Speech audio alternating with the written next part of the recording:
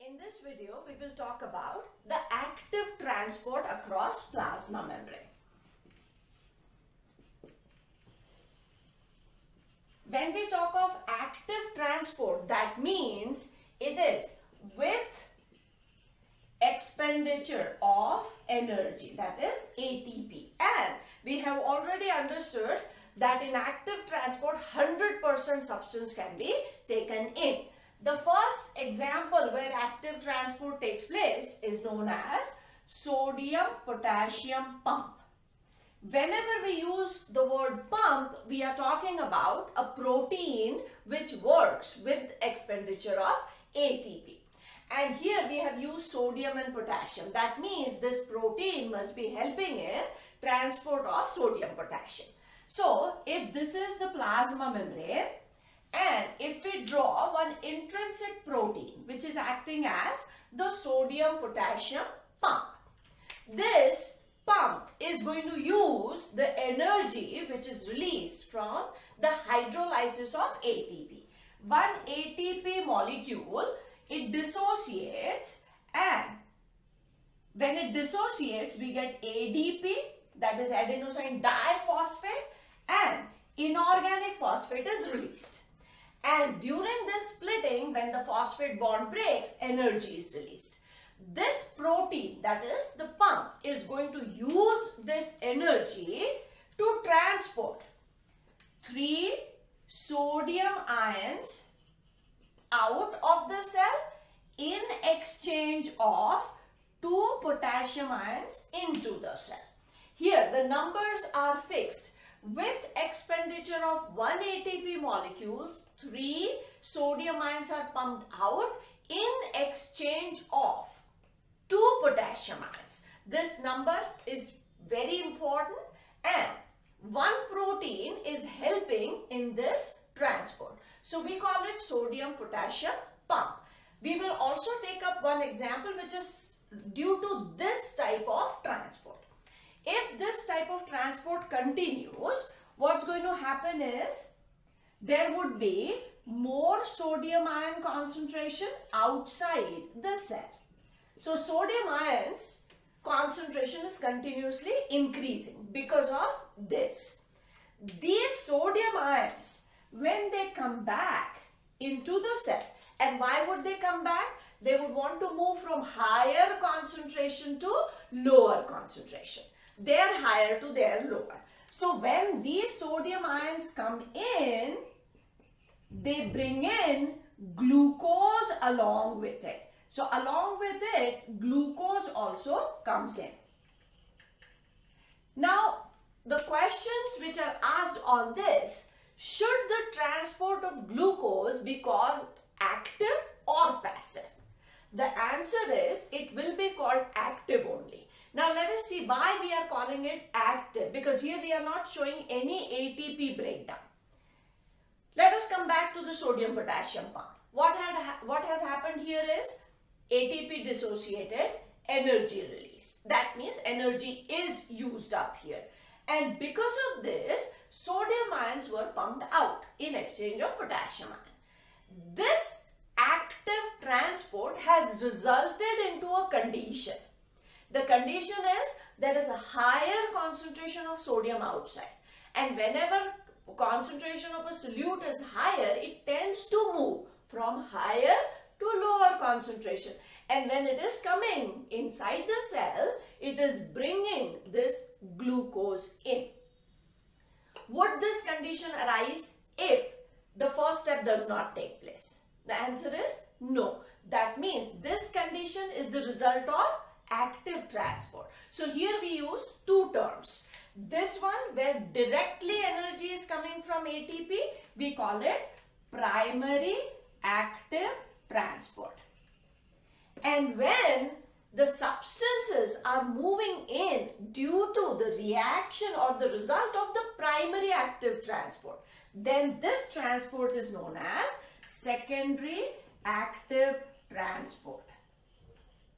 The difference is in case of the primary, you actually see the ATP getting hydrolyzed and the substances are moving because of that energy.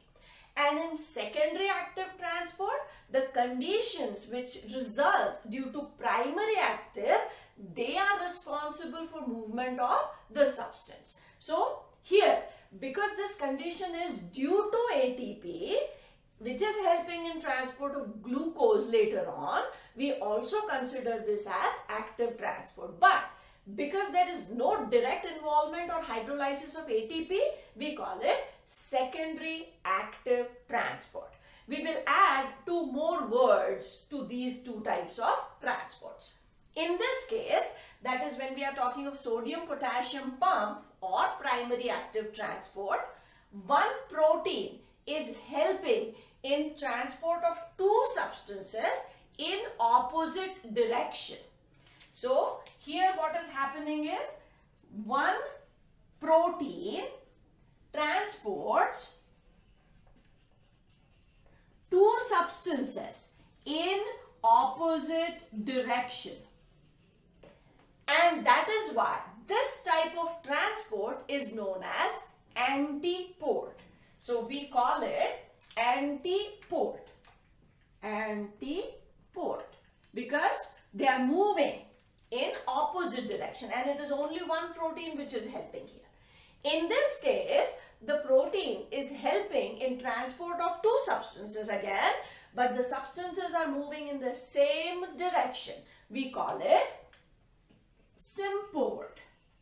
Symport means movement of two substances by one protein in the same direction. So using these two examples, we have understood what exactly have, uh, mean, we mean when we say primary active and secondary active. And antiport symport terms are used whenever one protein helps in transport of two substances. If they are going in opposite direction, it will be antiport. And if they, these two are coming in the same direction, it would be symport. Now the question is, where are these sodium potassium pumps found? The location. Sodium potassium pump locations.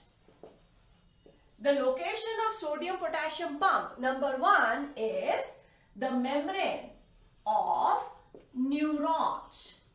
And neurons means basically the membrane of the entire nerve fiber. It has sodium potassium pump.